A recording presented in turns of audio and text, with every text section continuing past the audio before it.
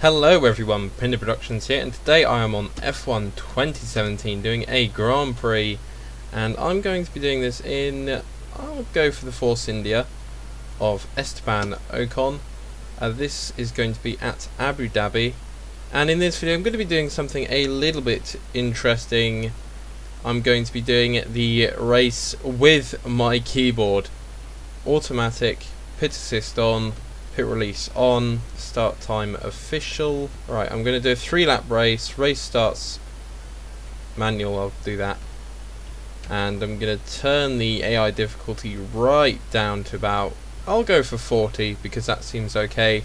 Let's press F1 and, F1, very funny, and see how it goes racing a three lap race at Abu Dhabi with keyboard and mouse controls. I probably should have set up an extra camera for this, so I might go and do that now. Okay, so we are on the grid and I have my camera set up now so you can see the keyboard. Uh, let's start race. So here we go. Engage clutch hold space. A.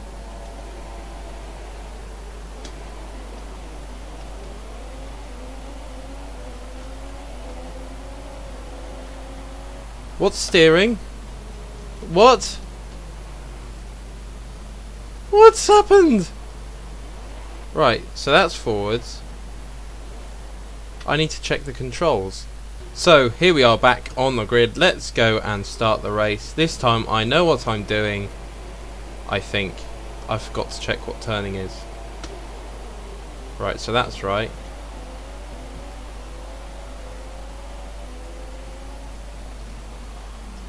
Okay, so that's okay. Right, on the grid for a third time. Clutch in, holding W, release. So starting P12, and we have manual gears. This feels weird. This feels exceptionally weird.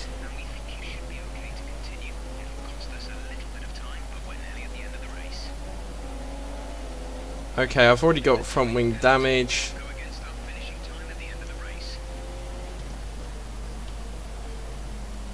Uh. Oh dear. Let's restart that again. Holding the revs. Five red lights. And it's go, go, go here in Abu Dhabi.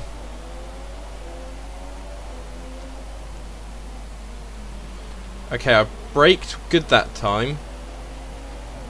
And I'm staying ahead of Magnussen. Oh dear, it's Grosjean. He knocked Ocon out at the previous race in Brazil. Don't want to have too much battling with him.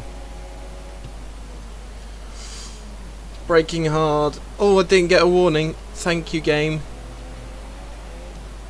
I basically have every assist on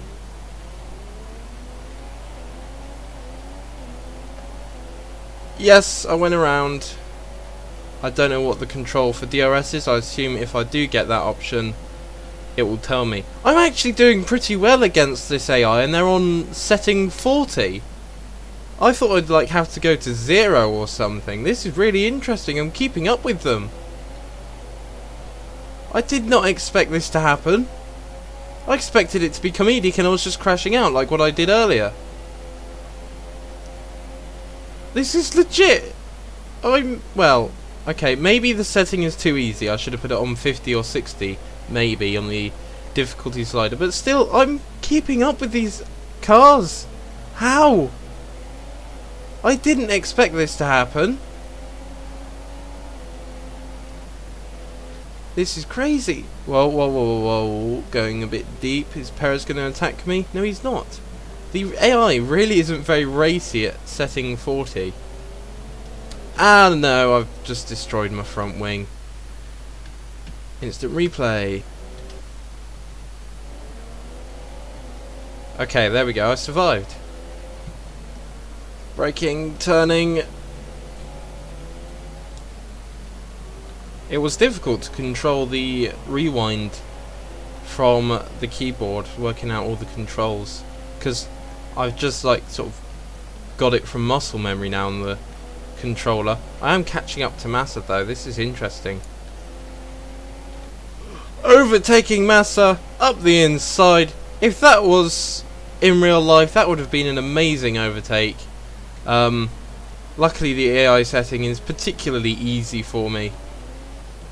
But uh, yeah, this is not as hard as I thought. This game is quite well optimized for keyboard users if you've got some assists on, uh, like I have. Maybe it could be easy enough with automatic, oh, sorry, manual gears instead of automatic like I've got now.